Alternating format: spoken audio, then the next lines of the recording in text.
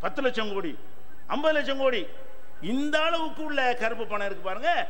அதுகளை எடுத்தானேயானால் அது வந்து பயன் தரக்கூடியதாக இருக்கும். அது எங்க இருக்கிறது?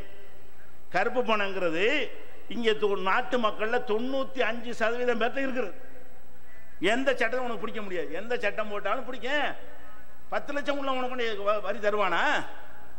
இருபது லட்சத்துக்கு கணக்காட்டி கொண்டு தருவானா? எவனும் தர்றது இல்லை அதையும் நீங்க விளைவிக்கிறேன் ஏன் தருவதில்லை என்று சொன்னால் நம்ம நாட்டில் வந்து கணக்கு காட்டினாலே அவன் முட்டை அப்படி ஆக்கிட்டாங்க. கணக்கு காட்டினான்னு வைங்க. அவனை முட்டை அடிச்சு சந்தையில் நிப்பாட்டுற அளவுக்கு இவங்களுடைய வரி முறைகள் இருக்கிறது எதனால கரப்பணம் உண்டாகிறது? இப்ப நபிகள் நாயகம் ஸல்லல்லாஹு அலைஹி காலத்தில் வந்து இரண்டரை சதவிகிதம் வரின்னு போட்டார்கள். எல்லாரும் கொடுத்தார்கள். தேடி தேடி ஒன்று கொடுத்தார்கள். நூற்றுக்கு ரெண்டரை. அவ்வளோதான் என்ன வேணாலும் செஞ்சுக்க. நீ ப- பங்களா கட்டிக்க அரண்மனையை வாங்கி என்ன வேணாலும் வாங்கிக்க. நூறுரூவாய்க்கு ரெண்டரை கொண்டாந்து வச்சிரு. அதுக்கப்புறம் ஓம் பணம். இப்படின்னு சொன்னால் யாருமே ஏமாற்ற மாட்டாங்க. எல்லாருமே மனப்பூர்வமாக கட்டிட்டு போய்விடுவார்கள் இவங்க என்ன பண்ணுறாங்க நம்ம நாட்டில் வரி ஒரு பொருளுக்கு வரிய காசுக்கு வ- வருமானத்துக்கு வரியை போடுறான். எப்படி வரி போடுறான்? இப்போ உங்களுக்கு ரெண்டரை லட்ச ரூபா வருதுன்னு வைங்க. ரெண்டரை லட்ச ரூபா வருமானம் காட்டினீங்களே ஆனால் அதுக்கு வரி இல்லை சலுகை.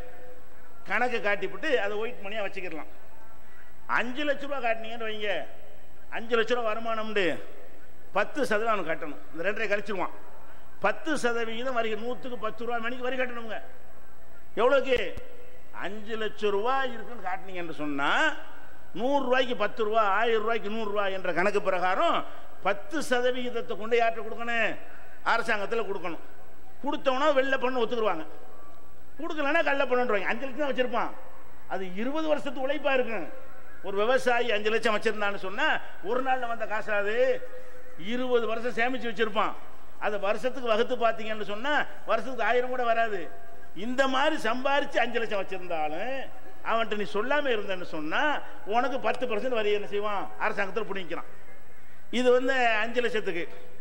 அப்புறம் பத்து லட்சம் வச்சிருந்தேன்னு வை இருபது பர்சன்ட் பிடிங்கிடுவான் அதுக்கு மேல வச்சிருந்தேன்னு வை முப்பது பர்சன்ட் பிடிக்குவோம் வரி எவ்வளவுங்க? நீங்க ஒரு கோடி ரூபா வச்சிருந்தீங்கன்னு சொன்னா எழுபது லட்சம் தான் உங்களுக்கு. முப்பது லட்சம் பிடுங்குறான். அட என்னடா இவ்வளவு கொடுமை? முப்பது லட்சத்தை என்ன பிடுங்குற? என்னடா பண்ணிவிட நீ? எங்களுக்கு என்ன பண்ணுன்னு முப்பது லட்சம் பிடுங்குற? நாங்கள் கஷ்டப்பட்டு சிரமப்பட்டு உழைத்து சம்பாதிக்கிற காசுல ரெண்டரை பர்சன்ட் எல்லாரும் தருவான். இவங்களுடைய வரிமுறை எப்படி இருக்கிறது சொன்னால் நூத்துக்கு முப்பது சதவீதம். அப்ப இருபது லட்ச ரூபா வச்சிருக்கேன்னு சொன்னா முப்பது சதவீதம் அவனுக்கு ஆறு லட்சம் அவனுக்கு கொடுக்கணும். பதினாலு தான் உனக்கு. அப்ப இருபது லட்சம் ரூபாய்க்கு ஆறு லட்சமா? ஏங்கிற மாட்டான். பல வருஷம் சம்பாரிச்சவன் அந்த இருபது லட்சத்தை காட்டினா என்ன கதிக்கு ஆகுவான்? அப்ப இந்த அநியாயத்துக்கு வரிய போடுற காரணத்தினால மக்கள் என்ன செய்யறான்? எதுக்கு போய் எல்லாத்தையும் காட்டணும்? மாற்றுற மாதிரி வந்தா காட்டிக்கிருவோம். மாட்டாத அளவுக்கு தப்பிக்க முடிஞ்சா தப்பிச்சுக்கிறோம் நினைப்பான நினைக்க மாட்டானா? அப்ப கருப்பு பணத்தை உண்டாக்குறது மக்களா நீனா? உன்னுடைய கொடூரமான வரி விதிப்பினால் கருப்பு பணம் உண்டாகிறதா? மக்களுடைய கொடூரமான தன்மையால் உண்டாகிறதா? அப்ப இவ்வளவு பெரிய வரியை போட்டுறாங்க. சரி வரியை போட்டீங்கல்ல? நான் வரி கொடுத்த பணம் தானே அது? அந்த பணத்தை கொண்டு போய் வீடு வாங்க போனா அதுக்கு வரி தாங்கிறான் ஆ. அந்த பணத்தை கொண்டு போய் நான் எனக்கு ஒரு வீடு வாங்கி நிலத்தை வாங்கினேன்னு வைங்க. அதுக்கு பதினாலு பர்சன்ட் பத்திரப்பதி தாங்கிறான் ஏற்கனவே அவன் பிடிங்கிட்டானடா. ஏன் நானும் பிடுங்க கொண்டா? அடே பத்து லட்ச ரூபா கொண்டு கட்டி கட்டிவிட்டான்ல வரி கட்டின பணம் தானே? அப்புறம் எனக்கு போடலாமா? வீடு வாங்கினா அதுக்கு வரி. சொத்து வாங்கினா அது வரி. எது வாங்கினாலும் அதுக்கு தங்கம் வாங்கினா அதுக்கு வரி.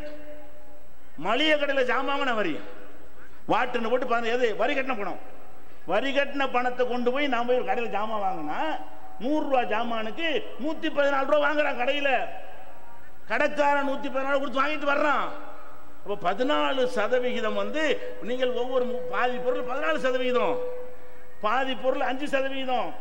சில பொருளுக்கு ஜீரோன்னு வச்சிருக்கிறான். அதிகமான பொருள் பதினாலு பெர்சன்ட் அப்போ பதினாலு சதவீதமான வரியை வேற வாங்குறான். ஏற்ற ஏழை பாலிட்டு வாங்குறாங்க.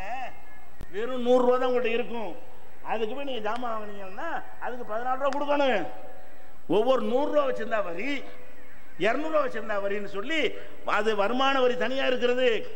இந்த வர்த்தகத்தில் பேரால என்ன செய்கிறான் வரியை சுரண்டக்கூடிய காட்சியை பார்க்குறோம்.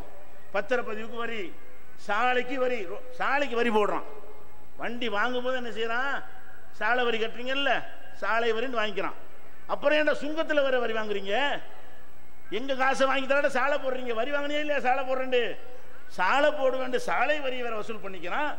அப்ப அங்கங்க நிப்பாட்டி இங்க இருந்து வேலூர் போறதா இருந்தா நாற்பது இடத்துல நிப்பாட்டுறான்.